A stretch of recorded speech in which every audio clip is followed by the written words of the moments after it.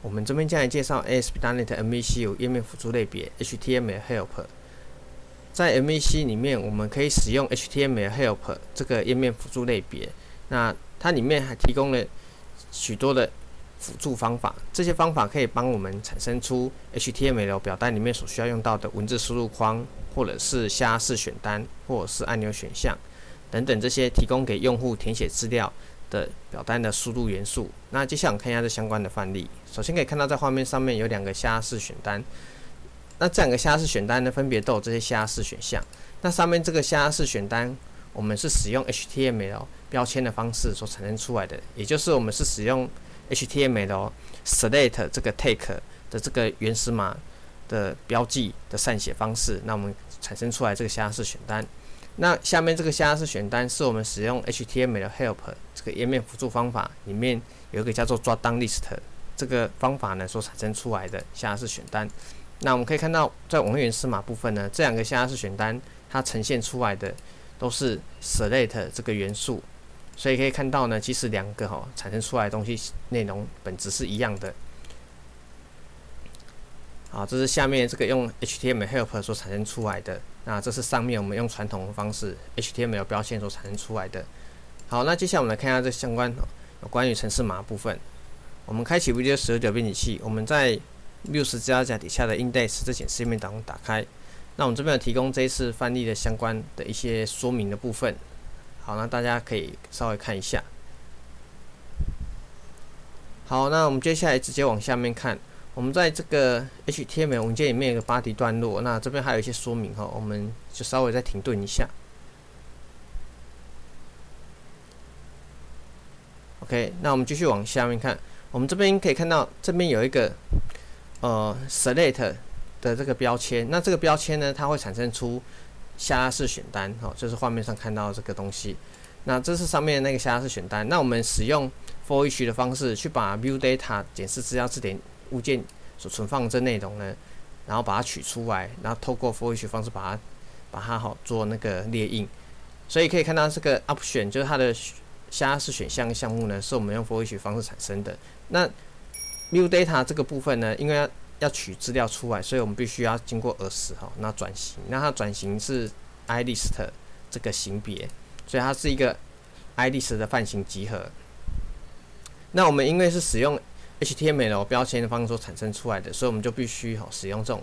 for each 的方式，然后去产生出像它的选项。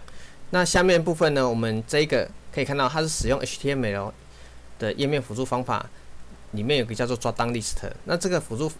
方法呢，它直接哈也可以产生出在画面上面所看到这个下式好选单的选项。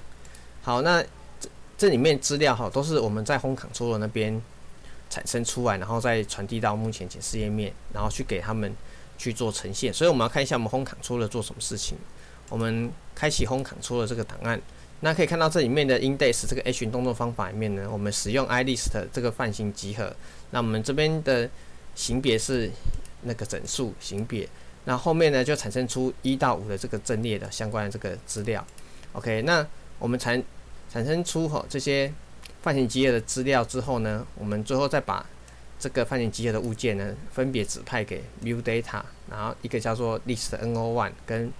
view data list no two。那在这个下面这个 list no two 的这个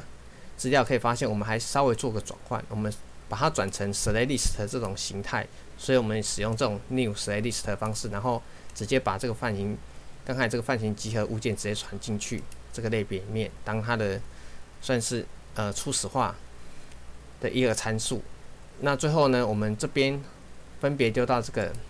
view 的检视页面去做呈现。那上面这个部分，大家因为刚才有解释过，所以大家应该很了解哈它的这个呈现方式。下面这个部分呢，因为 HTML 抓当历史的这个页面辅助方法，它其实要搭配的型别就是 select list 这个型别，所以我们这边刚才才会帮它稍微再做个转换的动作。好，那另外也可以看到我们在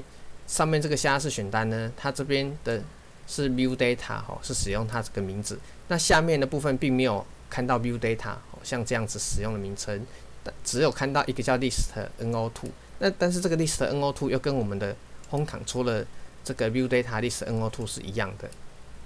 那所以说你可以发现，其实我们只要哈是在那个 HTML 的这个抓当历史的这页面辅助方法，它的名称呢，只要跟我们这个 Home Control 的这个 View Data 的名称哦是一样的话，其实它自己就可以细节到哦这个 View Data 的这个里面的内容的资料。而且你看，我们其实也没有在做什么转换，因为我们其实在这边就已经哦去把它这个形态已经去做一些转换的工作了。那你可以发现，我们在这个 View Data 上面这边还要哦还要做个二十 iList 的转换的这个动作。那我们这边也有说明哦，在这里。HTML 的这个抓 downlist 的名这个方法的名称呢，哦，使用同样名称，而且装有 select list 资料的 view data，就会直接带入到 view data 里面的 select list 资料，所以说无需要在 HTML 抓 downlist 里面再去设定 select list 这样子。好，那大家依照这个翻译就可以，呃，发现一个情况，就是说。可以看到，如果我们使用传统的 select list 这种表单的方式产生出来的话，其实呢，你这边还要去用 for each 方式，然后直接针对页面元素哈去产生这个资料。那如果你使用 HTML help 辅助方法的话，只要这一行一样就会产生出资料。那这个方式有比较有点像是以前我们使用，呃，如果写过 ASP.NET Web Form 的朋友的话，我们都会在那个 CS 就是那个程式档里面呢去指派一些控制项。那那边的话，我们就是直接给它像呃资料一些 data source 的部分，把一些资料集合指派给这个 data source，然后由前端的页面控制项哈，直接就可以产生出来。这种操作方式其实还蛮类似的，所以各位可以看到，在这边基本上我们都没有任何的一些哦要去操作一些资料的回圈啊什么之类的产生的这些逻程式逻辑，那跟上面这边哈就可以做个比较。那所以说。只要这一行哦，程式码就可以做到哦，跟上面这行程式码一样的这个效果。那所以说这个部分会是还蛮简单的哈，你可以发现它用非常简单方式就可以产生出来一样的工作。好，我们这边就介绍这个页面辅助类别 HTML Help，那就介绍到此，谢谢。